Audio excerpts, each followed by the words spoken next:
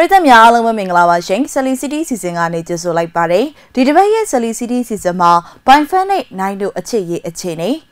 Only Fan အကောင့်ဖွင့်လိုက်တဲ့အဆိုတော် J Park ဟွမ်ဂျွန်အွန်နဲ့ဖောက်ပြန်ခဲ့ဘူးတဲ့ဆိုတာကိုရှင်းလင်းခဲ့တဲ့ချောင်းတန်နီရဲ့ Island 2ရဲ့ Pep 2 Address Storyteller အနေနဲ့ပါဝင်သွားမယ့် Sun Hanbin Squid Game Season 2နဲ့3ထွက်ရှိလာမယ့်အပြင် remake ပြန်လဲရိုက်နိုင်ဖွယ်ရှိတဲ့အကြောင်း နောက်ဆက်တွဲထုတ်ဖို့တောင်းဆိုကြတဲ့ Tom Cruise ရဲ့ August of Tomorrow ငမန်းတိုက်ခိုက်မှုကြောင့်ကွယ်လွန်သွားပြီဖြစ်တဲ့ Pirate of the Caribbean ကတရုတ်ဆောင် Tamayo Perry အနုပညာကြီးအမြင့်ဆုံးရတဲ့ Bollywood အနုပညာရှင်တွေအစရှိတဲ့စိတ်ဝင်စားဖွယ်သတင်းတွေပါဝင်သွားမှာပါ။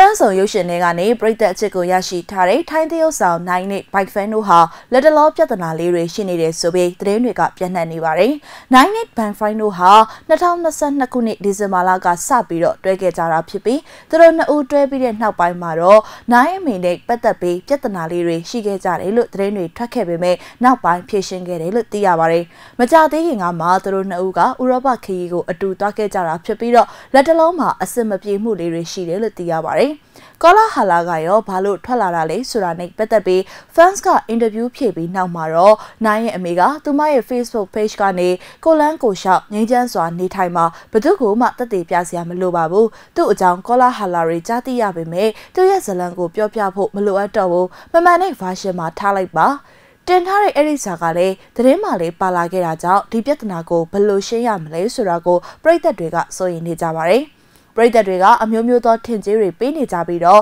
သတင်းတွေကိုအဆက်မပြတ်တင်နေကြတာကြောင့်နိုင်ကသူ့ရဲ့ IG ကနေပြီးပထမဆုံးရှင်းလင်းချက်အနေနဲ့ဒီနေရာကိုအသုံးပြုခွင့်ပေးပါသတင်းတွေပို့ပြီးတော့မပြတ်အောင်ဘသူ့ကိုမှခံမှတ်မှုတွေမလုပ်ပါနဲ့အောင်အခု fan ရဲ့မိသားစုငါနဲ့ငါအမေပါပါပြီးတော့ဆက်ဆက်လာပြီးကျေးဇူးပြုပြီးတော့ဒီပြဿနာကိုဖြေရှင်းဖို့ငါ့ကိုအချိန်နည်းနည်းပေးပါနောက်ကြငါကိုယ်တိုင်ထွက်လာပြီးရှင်းပြပေးပါမယ်ပြီးတော့ငါ့ကိုအားပေးမှုအတွက်ကျေးဇူးတင်ပါတယ် me and bye fan thank you ဆိုပြီးတော့ရေးတင်ထားပါတယ်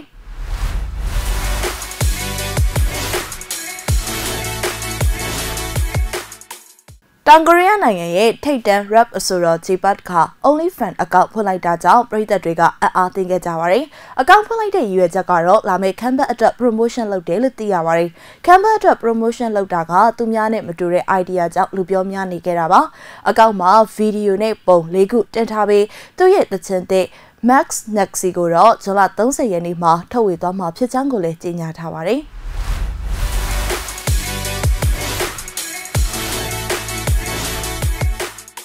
Amnesty Survival Show Boys Planners ကနေဖွဲ့ထားတဲ့ group တစ်ခုဖြစ်တဲ့ Zero Big One အဖွဲ့ဟာ Evan 3ချက်စက်တိုက်ကို million စေရရှိထားပါတယ်။ Zero Big One ရဲ့အဖွဲ့ဝင် Sun Han Bin ကိုယ်တိုင်ကလည်း Amnesty ရဲ့ Survival Show ကနေလာတာနဲ့အညီ talent တွေကိုအပြည့်အဝရှိထားသူတစ်ယောက်ဖြစ်တာကြောင့် iMake တွေနဲ့ contestant တွေကြားမှာ role model အနေနဲ့သာမကပဲ reliable senior အနေနဲ့ပါရနိုင်စေဖို့အတွက် Sun Han Bin ကိုအခုထုတ်လွှင့်ပြသနေတဲ့ I Like to Pep 2မှာ storyteller အနေနဲ့မြင်တွေ့ရမှာပါ Island 2 Part 1မှာတော့ဆောင်းကန်က storyteller အနေနဲ့ပါဝင်ခဲ့တာဖြစ်ပြီးတော့ဆောင်းကန်စမှုထမ်းမဝင်ခင်နောက်ဆုံးအမှုပညာလှုပ်ရှားမှုအနေနဲ့တွေ့ခဲ့ရတာပါ Island 2အစီအစဉ်ကို Big Bang Tayan Monica နဲ့ Lee Jung တို့အပြင် producer 24နဲ့ Vivian တို့ကပါဝင်ထားပါတယ် Global Origin ခီးစဉ်ကနေရှောက်ထားသူအယောက်2000ကနေပြိုင်ပွဲဝင်24ယောက်ကိုရွေးချယ်ပြီးရှင်ပြိုင်ရမှာပါ ရှိုးရဲ့ signal တခြင်းဖြစ်တဲ့ Final Love Song ကိုပြိုင်ပွဲဝင်နေနဲ့ Blackpink အဖွဲ့ဝင် Rosals တို့ကအတူတည်ဆိုထားပါတယ်။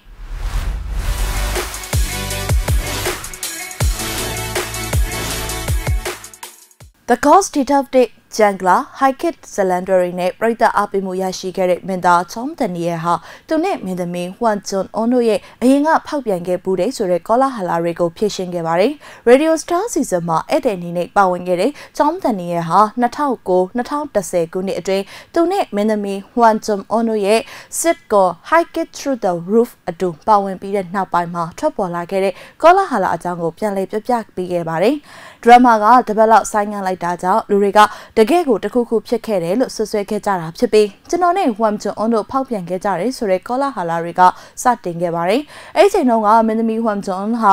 ST1LP အဖွဲ့ဝင်ကင်မြွန်ဂျွန်းနဲ့တွဲနေတာဖြစ်တာကြောင့်ကင်မြွန်ဂျွန်းကကျွန်တော်ကိုအညိုမဲဆွဲသွားအောင်ရိုက်ခဲ့တာကြောင့်ကင်မရာရှေ့မှာတပတ်လောက်ပေါ်မလာခဲ့တာလို့ကောလာဟာလာတွေထပ်ခဲ့ပြီးပြောခဲ့ကြပါတယ်လို့ချောင်တနီရဲ့ကပြောပြခဲ့ပါတယ်။အမှန်တော့အဲ့ဒီချိန်တုန်းက H1N1 တုတ်ကွေးကြောင့်မှအစုလိုက်အဖွဲ့လိုက်စုဝေးတာတွေကိုတပြစ်လိုက်တာပါ။ဟွန်ဂျမွန်နဲ့အီယွန်စီယုံနှစ်ယောက်စလုံးကတုတ်ကွေးကူးဆက်ခံရတဲ့အတွက်ရိုက်ကူးရေးတွေကိုရန်နာထားခဲ့ရတယ်။နောက်ထပ်မပြန့်ပွားအောင်အတွက်ကျွန်တော်တို့ရိုက်ကူးရေးတွေကိုနားခဲ့ရပါတယ်လို့လူတွေပြောဆိုနေတဲ့ကောလာဟာလာတွေနဲ့လုံးဝကိုစန့်ကျင်နေတဲ့နောက်ွယ်ကအမှန်တရားတစ်ခုကိုပြပြသွားခဲ့ပါတယ်။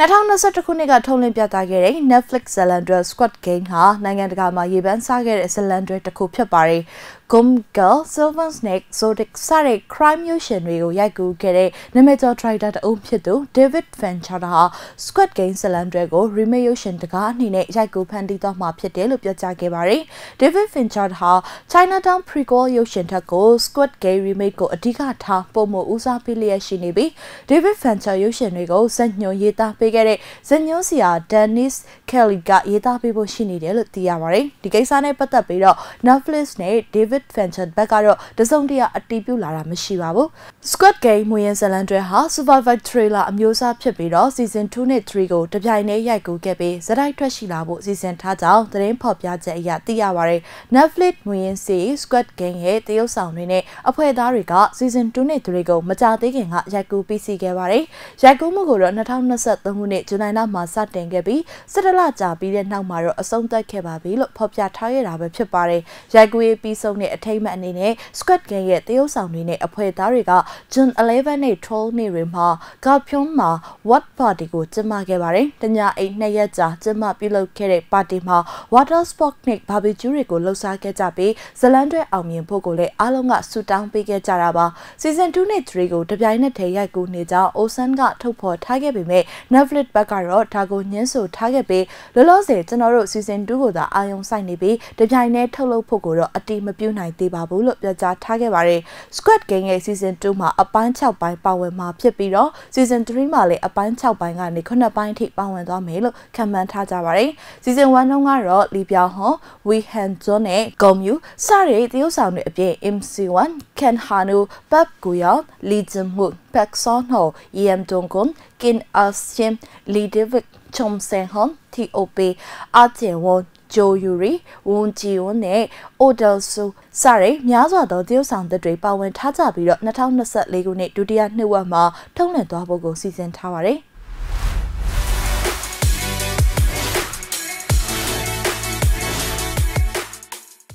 2014ခုနှစ်ကထွက်ရှိခဲ့တဲ့တရုတ်ဆောင် Tom Cruise နဲ့ Emily Blunt တို့ရဲ့ sci-fi thriller ရုပ်ရှင် Echoes of Tomorrow ဟာဝင်ငွေအရအောင်မြင်မှုမရခဲ့ပေမဲ့လည်းပရိသတ်အားပေးမှုများစွာကိုရရှိထားပါတယ်။တရုတ်ဆောင် Tom Cruise ဟာ2024ခုနှစ်ဇန်နဝါရီလမှာ Warner Bros Company နဲ့စာချုပ်ချုပ်ဆိုခဲ့တာဖြစ်ပြီးတော့အဲဒီစာချုပ်အရ Tom Cruise ဟာ Warner Bros ရဲ့ ရုပ်ရှင်တွေမှာပါဝင်တရုပ်ဆောင်ရုံသာမကပဲကိုရိုင်းထုတ်လွှင့်သူအနေနဲ့ပါတာဝန်ယူထုတ်လုပ်နိုင်မှာပဲဖြစ်ပါတယ်။လက်ရှိမှာ Tom Cruise ဟာ Warner Bros အတွက် Director Alejandro Gonzalez Inarritu နဲ့ရုပ်ရှင်တကားရိုက်ကူးမဲ့ဆိုတာကလွဲပြီးတော့ကြာရုပ်ရှင်တွေနဲ့ပတ်သက်ပြီးအသေးစိတ်ကိုတော့မသိရသေးပေမဲ့လည်း Warner Bros ကတော့ Echoes of Tomorrow ကို sequel တကားထုတ်ပေးဖို့ဇာတ်တောင်းဆိုနေကြောင်းကိုသိရပါတယ်။ Echoes of Tomorrow ကို sequel မရရအောင်ထုတ်ပေးဖို့ Warner Bros ဘက်ကဇာတ်တောင်းဆိုနေကြောင်း Director Tom Lehman ကပြောပြလာခဲ့တာဖြစ်ပြီး sequel နဲ့ပတ်သက်ပြီးစံညွန်တစ်ခုရှိခဲ့ကြောင်း Echoes of Tomorrow ရဲ့တရုပ်ဆောင်တူဖြစ်သူ Emily Blunt ကပြီးခဲ့တဲ့2023ခုနှစ်ကပြောခဲ့ပါတယ်။ Director Tom Lehman နဲ့ Echoes of Tomorrow ဟာဂျပန်စာရေးဆရာ Hiroshi Sakurazaka နဲ့2004ခုနှစ်ကထုတ်ထားတဲ့ Light Novel အမျိုးအစားစာစဉ်တအုပ်ဖြစ်တဲ့ All You Need Is Kill ကိုပြန်လည်ရိုက်ကူးထားတာဖြစ်ပြီးတော့ Mission Impossible Director Christopher Masquire နဲ့ Indiana Jones and the Diaries of Disney ရဲ့ဇညွန်းဆရာ Jazz Butterworth နဲ့ John Harry Butterworth တို့က Act of Tomorrow ရဲ့ဇလန်ဇညွန်းကိုပူးတွဲရေးသားထားတာဖြစ်ပါတယ်။ပရိသတ်အကြိုက်ညားလျက်ရှိတဲ့ Tom Cruise ရဲ့ The Last Samurai ဟာ Warner Bros ကနေဖြန့်ချီခဲ့တဲ့ရုပ်ရှင်တကားဖြစ်တယ်လို့မျိုး Warner Bros ရဲ့အခြားရုပ်ရှင်တွေဖြစ်တဲ့ Ross of Age, Act of Tomorrow, Magonia, Ice White Shut, Interview with the Bavaria, Risky Business နဲ့ The Outsider တို့မှာလည်း Tom Cruise တယောက်ပါဝင်ခဲ့ပါတယ်။လက်ရှိ Tom Cruise ရဲ့ရုပ်ရှင်တွေထဲမှာ Top Gun Maverick ဟာဝင်ငွေအကောင်းဆုံးအနေနဲ့ရပ်တည်နေပြီး Warner Bros နဲ့လက်တွဲမှုဟာ Tom Cruise အတွက်ရုပ်ရှင်ကားကောင်းတွေထွက်ရှိလာနိုင်မလားဆိုတာကိုစောင့်ကြည့်ရမှာဖြစ်ပါတယ်။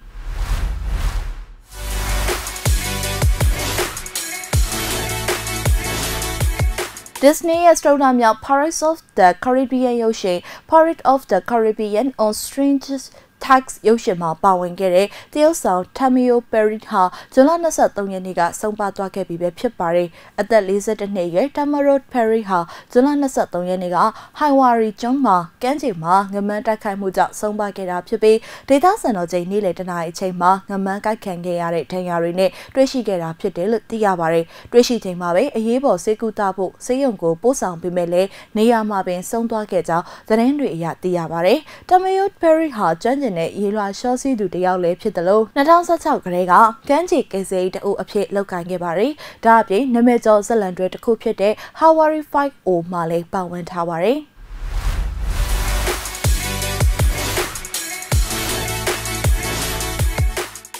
2024ခုနှစ်အတွက်ထုတ်ပြန်တဲ့အိန္ဒိယမင်းသားမင်းသမီးတွေရဲ့အနုပညာကြီးအမြင့်ဆုံးရသူ20စီရင်မှာ Shahrukh Khan နဲ့ Deepika ကထိတ်ဆုံးမှာရှိနေကြောင်း Business Insight India Sites ရဲ့အစီရင်ခံစာမှတ်တမ်းကိုကိုးကားပြီးမီဒီယာတွေမှာဖော်ပြထားပါတယ်။အနုပညာကြီးအမြင့်ဆုံးရတဲ့မင်းသားတွေထဲမှာ Bollywood star Shahrukh Khan ကနံပါတ်1ဖြစ်ပြီးတော့အိန္ဒိယတောင်ပိုင်းမင်းသား Ajit ကနံပါတ်2 Joseph Vijay ကနံပါတ်3နေရာတို့မှာရှိနေပါတယ်။အနုပညာကြီးအမြင့်ဆုံးရတဲ့မင်းသမီးတွေထဲမှာ Deepika ကနံပါတ်1ဖြစ်ပြီးတော့ Ken Kenneth ကနံပါတ်2 Priyanka ကနံပါတ်3နေရာတို့မှာရှိနေပါတယ်။ပြီးခဲ့တဲ့နှစ်ကလည်း Shahrukh Khan နဲ့ Deepika တို့ဟာဝင်ငွေအများဆုံးရတဲ့အိန္ဒိယမင်းသားမင်းသမီးတွေအနေနဲ့အစိုးရကိုအခွန်အများဆုံးဆောင်တဲ့စတားစီးယင်းမှာထိတ်ဆုံးမှာရှိနေခဲ့ပြီး2014ခုနှစ်မှာထိတ်ဆုံးမှာရပ်တည်နေဆဲဖြစ်ပါတယ်။ Shahrukh Khan ဟာအိန္ဒိယရဲ့အမှုပညာကြီးအမြင့်ဆုံးရတဲ့မင်းသားအနေနဲ့သူ့ရဲ့စီနီယာမင်းသားတွေဖြစ်တဲ့ Rajinikanth ကခေတ်ပြိုင်တွေဖြစ်တဲ့ American Akshay Salman Khan Junior Star တွေဖြစ်တဲ့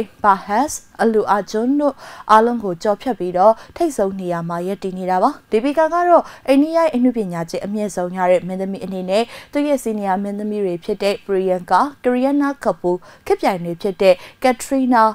Anushka, Junior မင်းသမီးတွေဖြစ်တဲ့အလီယာတို့အားလုံးကိုကြော်ဖြတ်ပြီးတော့ထိတ်ဆုံးမှရပ်တည်နေတာပဲဖြစ်ပါတယ်